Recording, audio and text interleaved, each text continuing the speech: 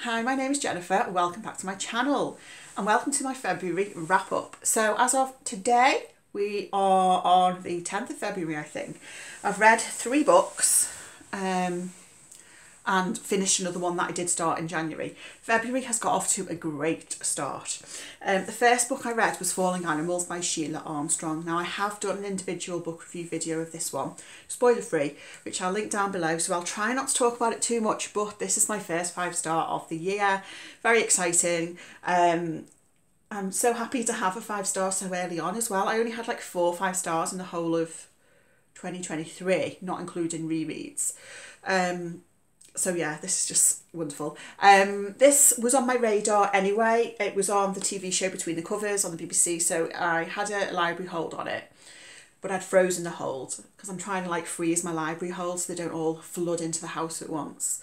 Um, but then this was mentioned in Jen the Librarian's Best Books of 23 video, so I had to prioritise it and I loved it. It's set on the coast of Ireland, um, following this sort of small community.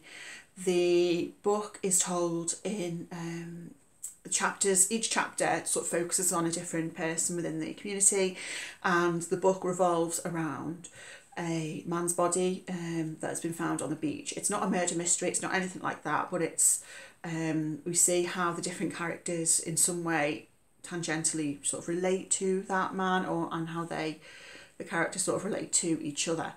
It's um it's wonderfully written. It's pretty short and it really packs a punch.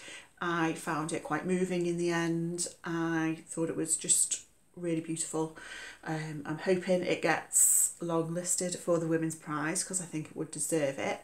Um, but yeah, check out my uh, video for full thoughts, which I'll link down below. But I just I thought this was absolutely wonderful. Um, then in the effort of reading books from my shelves, which I'll say I think is going pretty well. I'm actually quite like excited picking up books from my shelves and reading them. And I don't know why I haven't done it sooner. Um, but I read A Severed Head by Iris Murdoch. Um, this is the fourth thing I've read by Iris Murdoch. I've read two novels before and one short story. I picked this up second hand a year or two ago. I actually sought it out online just because I was really intrigued by the title of A Severed Head. This is kind of an ugly cover, but anyway. Um, it's pretty short. It's only 200 pages long and it's a little bit wild and it's one of those books where you finish it and you're like, I don't know what I just read, but I think I liked it, and I did really, really like this. Um, so it's about a, a man called Martin who is married, and he is having an affair with a younger woman. Standard. Um, he he finds out like really early on, on in the book that his wife's going to leave him for somebody else, um, and the book is really about the just the relationships between this sort of cast of characters. It does have elements of farce in it, in a way. Um, the main character Martin is quite unlikable. I do think Iris Murdoch writes a good, unlikable um, male main character. Um, I'm thinking of The Sea the Sea, which is one of the ones I have also read. The book is described in the introduction um, as being regarded by many as the most entertaining of uh, Iris Murdoch's novels and also perhaps the most flawless in ex- execution, which I thought was interesting. I do think it's.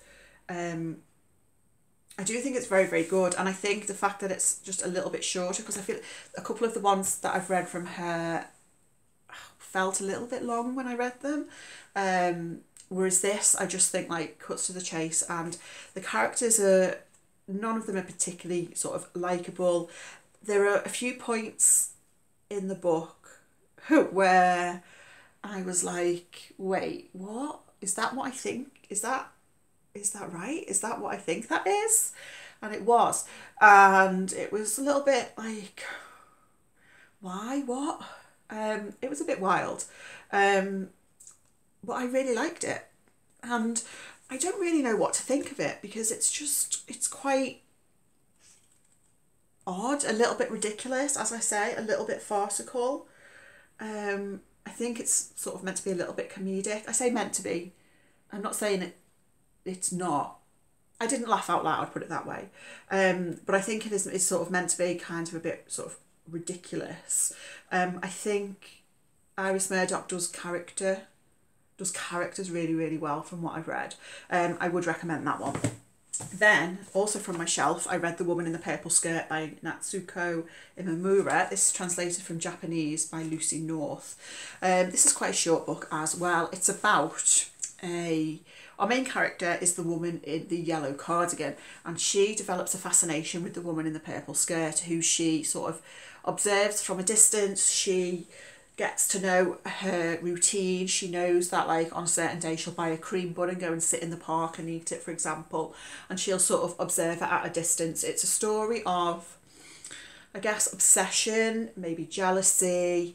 Um, it's it's quite plotty. It's more plotty than I was expecting it to be, certainly sort of in the second half, which I enjoyed. I thought it was good. I thought it had a strong and interesting ending. Um, the praise on the front from the different authors, we have praise from Leila Slimani, Sayaka Murata and Yoko Ogawa. So I think that says a lot. Um, I really liked it. It's one that I probably would re- reread and sort of get different things out of. It's told in a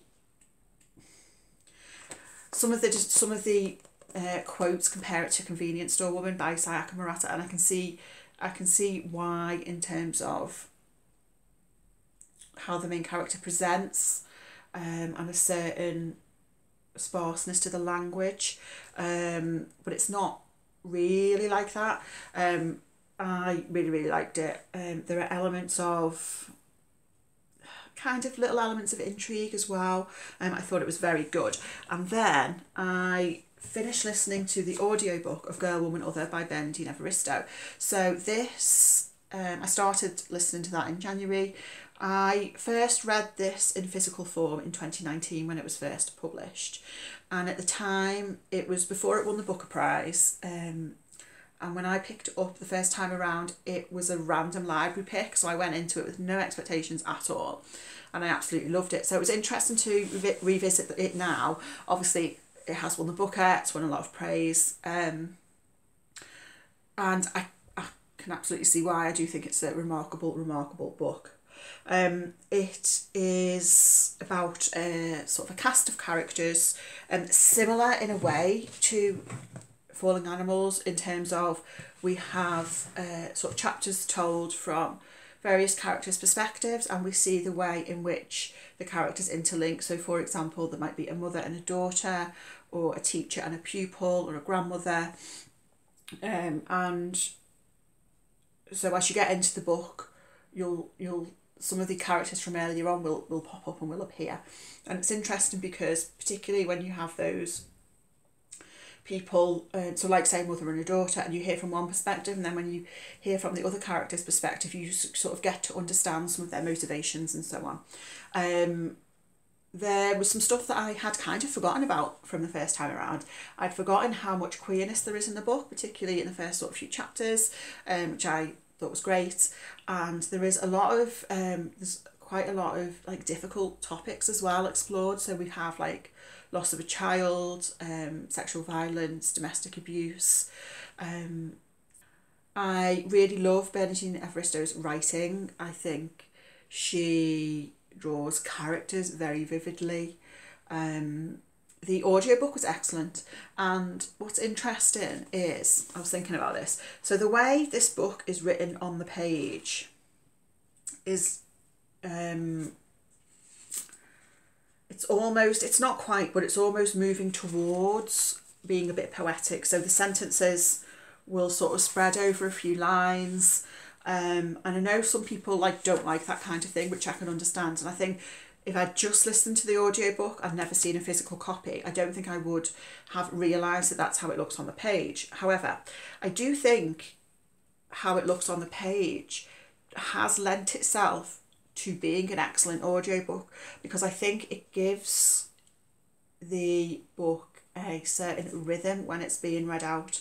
So I do think that does impact on the audiobook in a really positive way.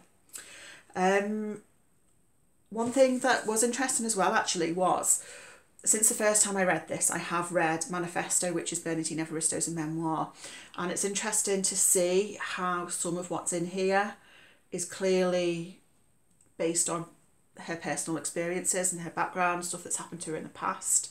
So that sort of adds a different element to it. Um, I do love this book. I think it's wonderful. However, I have a little niggle about this, and um, it was something that I felt when I first read it as well and now revisiting it, that's sort of cemented it a little bit for me. So I'm going to mention it. It's I don't know. Um, one of the chapters is about a character who is non-binary, and I think some of that representation, from what I can tell, seems really really great. Um, the main thing that kind of niggles at me with that is the title of the book, Girl, Woman, Other, because we presume that the other refers to the non-binary character. All the other characters, um, well, there are men in the book, but the vast majority of the characters in this book are women and they are black. Um, so we assume then that the other refers to this non-binary character, but obviously using the word other is quite dehumanizing and it's not something that you know, like when you have these tick boxes, other should not be, a, should never be a category when you are having to describe yourself, I don't think. So that just sort of, I don't know, I can't help it. I just feel a niggle at that. Um, and the other thing as well, there is another trans character in the book who is a side character. Um, but the way that she is described, I do have an issue with. Um, uh, one or two sentences in particular I mean, it felt kind of offensive, if I'm being honest. And I don't imagine like that's the intention. Um, but that was just how I felt about that. Um, I can't get away from it. Um, so that's like that's my issue with this book. Um, so yeah. Mm. But apart from that, I do think it's a wonderful, wonderful book. Um, I need to read more by Evaristo. I've only read this and Mr. Loverman, which I really, really liked as well, actually. So I do need to pick up more. It's the 18th of February, I think, and I have two more books uh, that I have now finished. The first is Severance by Ling Ma. So this I picked up for um, Ben's Read Good prompt February, which is February, read a book about a pandemic or a post-apocalyptic book. Um, so this was my choice, and this is a book I've been looking forward to reading since I first heard about it um, a few years ago. And I bought a copy, I think, last year for myself. So I had high hopes. Um, I don't buy a lot of new books. So when I do, I I buy the ones that I think I'm really going to like. And mm, this got off to a really good start. I really like this to start with, but by the second half of the book, I must admit I was a bit bored. Um, so what's it about? The main character is called Candy, Candice Chen, and she um, lives in New York. Um, she goes to work. She has a boyfriend, um, and this uh, sort of virus sweeps uh, sweeps the world. The book is told in two timelines. So we have, um, I guess, the current timeline is when the sort of pandemic has wiped out a, a lot of people and basically sort of destroyed civilization as we know it. Um, Candice is part of this small group of people, small group of survivors who are sort of travelling around trying to find supplies to live off and that sort of thing. And then the previous time frame is um, the start of the pandemic. So, um, you know, restrictions coming in. Uh, Candice is one of the few who remains working in her office um, where she works. She's sort of promised a lot of money if she continues to go into the workplace whilst a lot of other people are no longer going in. Um, this book was first published in 2018. It was written before the COVID pandemic, obviously. Um, and so, yeah, it's interesting because a lot of what's in here felt somewhat familiar because of having been through the COVID pandemic. Um, and I don't know what my reaction to the book would have been had we not had COVID. So it may have been more of a novelty to read about um, the pandemic. But as it was, obviously, to a certain extent, um, a lot of it felt familiar. The use of the two timelines, for me, it meant that there was not really much of a sense of anticipation. And I guess clearly that's not what the author was intending, otherwise, you know, the two timelines wouldn't have been used. But once you, as you're reading it, you know what the current timeline is. You know sort of the end result that society is going to basically collapse. Um, so you lose some of the kind of tension as you're reading the backstory because you know where we're going to end up. It is interesting to, um, you know, see some of the early signs of the pandemic and how people are reacting to it and sort of to compare that to what happened during COVID. Um, I feel like for me, this book tried to do a lot of things and it didn't quite work overall for me. It's described um, as being a, a moving family story, a sharp satire, and a heartfelt tribute to the connections that drive us to do more than survive. And for me, it it did all of those things okay, but I was left at the end of the book kind of feeling like what was the point of all that.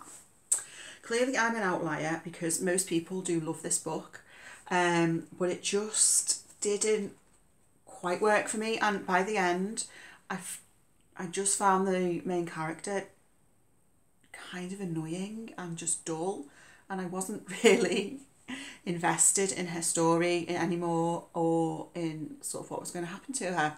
So that was a little bit of a letdown.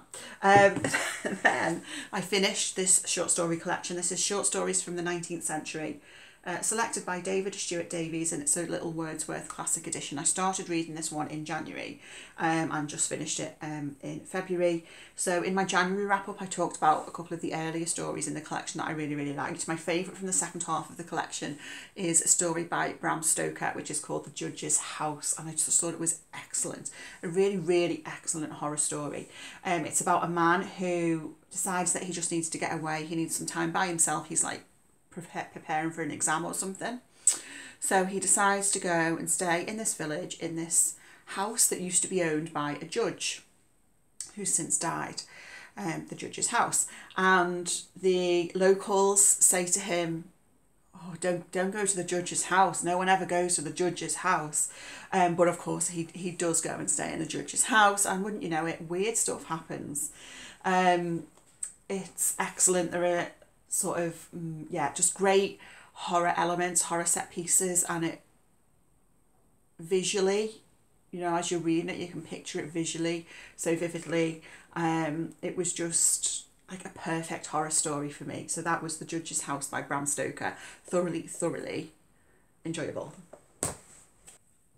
Hello again. It's now the 23rd of February, and I have read two books this week with somewhat mixed results. Um, but we'll start off with the book that was my reread for February, and this is We Are All Completely Beside Ourselves by Karen Joy Fowler. So, I love this book. This is a five star read.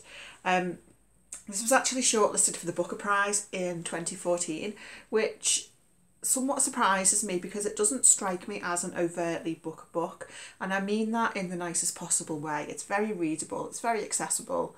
Um, and sorry Booker, but that's not what you're known for. Um, Karen Joy Fowler was shortlisted a couple of years ago for Booth as well, which I haven't read, but by the sounds of it, I think that is a very, very different book to this. So, in this book, our main character is called Rosemary, and um, the book is told from her perspective, and it's about her life, her childhood, and her family. Um, we know from the start of the book um, that her older brother, Lowell, she has not seen for 10 years. And her sister Fern um, disappeared from her life 17 years ago. And as we go through the book, we sort of find out a bit more about about what happened, what led up to that. When the book opens, um, Rosemary is at college, and we see her sort of thinking back on things that happened when she was a young child and trying to sort of come to terms with things that have happened. A lot of the book is about um, the nature of childhood memory and the reliability or unreliability of that um, and how things that you experience as a child when you grow up you see them sort of through a different lens. Um, this is really about the the family and in particular the sibling relationship between Rosemary and Fern is a really really lovely sibling sibling relationship um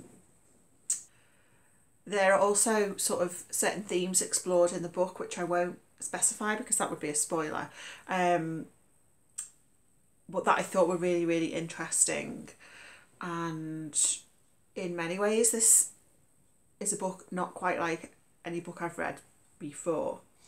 Um, the quotes on the back are from there are sort of blurbs by three different authors on the back, which I thought was interesting because these three authors are all, I think, very different authors. So the uh, the, the praise on the back is from Sophie Hannah, Barbara Kingsolver, and Khaled Hosseini. So I thought that was interesting that they all sort of blurbed this book because I think it's a book that would appeal to a lot of readers. There are some um, kind of slight mystery elements. I mean, it's not a mystery book, but there is sort of a little uh, a pull of intrigue that keeps you um, through the book. Um, if you like books about sort of family dynamics and uh, sibling relationships and um, the nature of memory, um, what I would say is don't Try not to read too many reviews of this book if you are interested in reading it because I had a look on Storygraph. I normally look at the reviews on Storygraph after I finish the book and there is a few on there that do spoil certain things and I feel like this is a book that potentially you could be quite easily um, spoiled for. So I would say try to go into this not knowing too too much about it. Um, but yeah, I loved it. I just thought it was a really, really wonderful, wonderful story.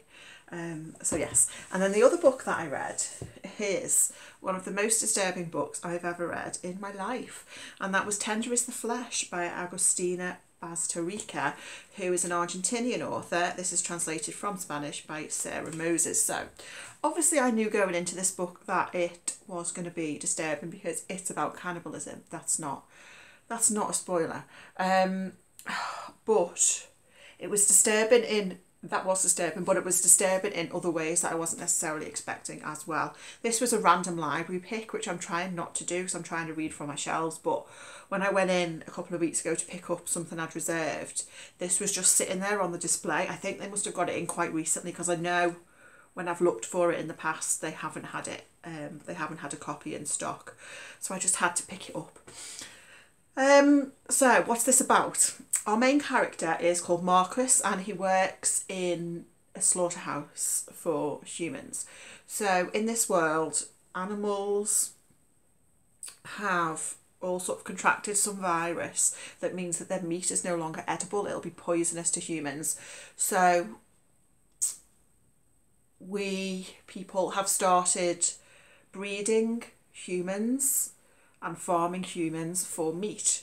Um, so there is sort of this separation between humans who are sort of working and eating the meat and the, the meat that is being bred. So he works in this in the slaughterhouse. It is very descriptive. Um, I thought it was really well done. I thought it was very effective. The way that like sort of the human meat is described. They humans are when they are for food are called heads, and we see how some of the terminology is changed to sort of put a distance between the fact that it's humans that are being eaten here. Um, there were certain points where I almost kind of forgot we were talking about humans, and then I had to remind myself um, that that we were. I don't eat meat anyway. I'm a veggie. Um, I think meat's kind of gross. Um, but I imagine if you were a meat eater, it would probably put you off eating meat because the stuff in here is just like really awful. Um, and yeah, um, the other disturbing stuff that I kind of wasn't quite expecting. There is sexual violence in the book and there is animal cruelty as well. So just to mention those things because those were like this was a really quick read and quite a short book. If it had been longer, I potentially would have DNF'd it because it was a lot, but it was also a page turner. So I just, I kind of just wanted to get to the end and get it kind of over with and, and see where we were going to end up. Um, I'm still not sure what my overall thoughts are because I can't say I enjoyed it, and that's not just because obviously it's a very disturbing book. I'm not sure if I don't know, I'm not sure if it quite worked for me. What I do think it does really well is it sort of explores how individuals react to and deal with um, the fact that this is now happening and how by sort of it becoming legal to farm and eat humans, the other boundaries that are pushed as a result of that. So, and I won't go into detail, but there is like much more horrific stuff that happens in the book by certain characters, sort of as a result of, you know, a certain thing being acceptable, and then sort of the, the horrors of what else people will do um, are explored as well. I yeah, I mean, I think I I think it is a good book because I'm clearly disturbed by it. Um, but I don't think I would ever reread it. Um, yeah, it's uh, mm, yeah, that was that.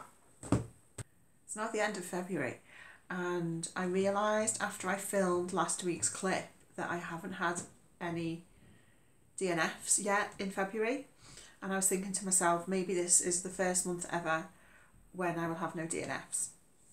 And of course, I jinxed myself because I do have a DNF. But I feel like one DNF in a whole month is pretty low for me.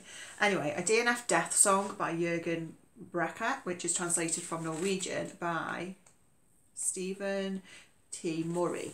Um, so this is a crime thriller which I got in my advent calendar like maybe like a year ago, could even possibly have been the year before that.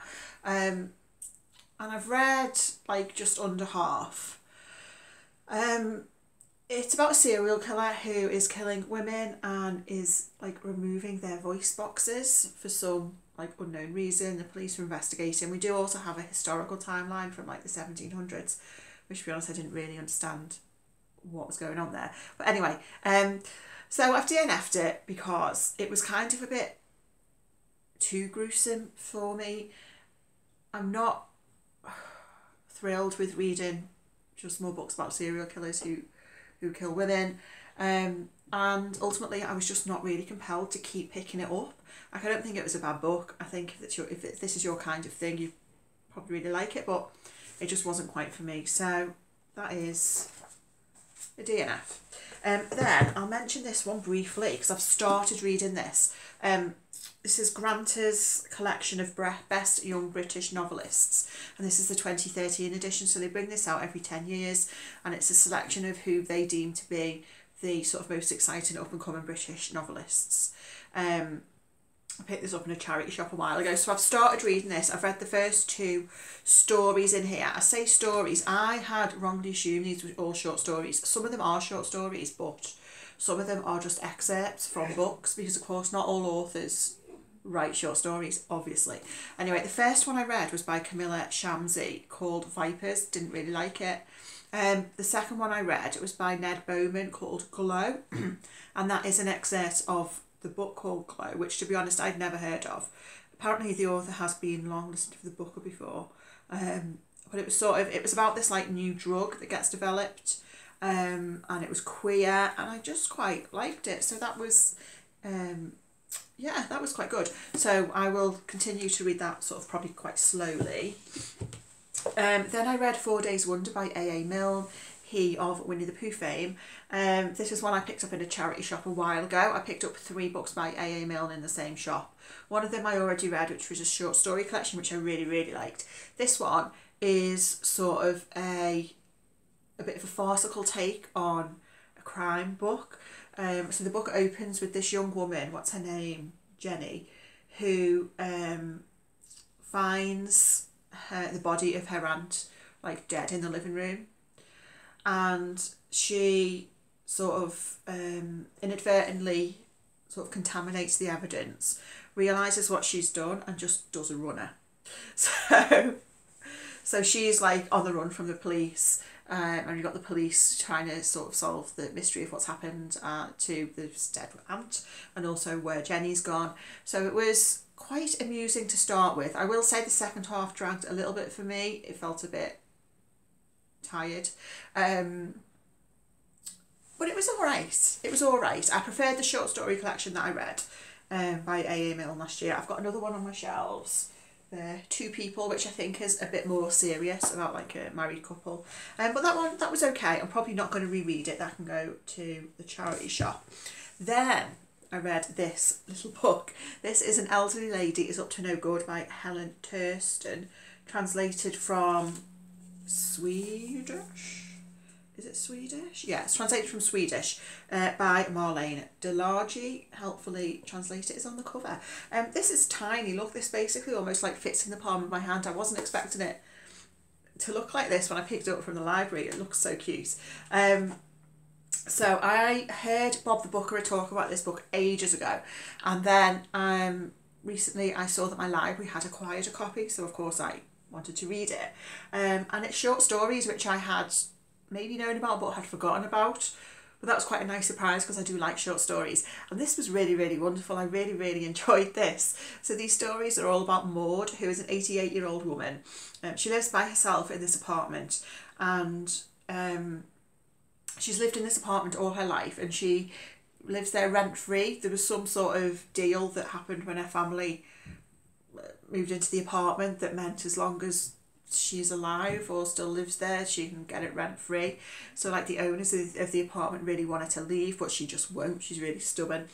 Um, but Maud, Maud kills people, and um, yeah. So the stories sort of follow her and her life and the people who, um, who she decides to kill. She you don't feel sorry really for the people that she kills because you know for the most part they do deserve it. Not that i am condoning murder but um but you know you're on maud's side really. She's a great character. This was a great little book. I really really enjoyed it and i think there is another one in the series. What's it called?